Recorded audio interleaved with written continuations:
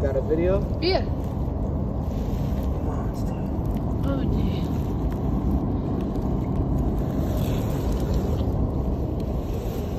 That was an aggressive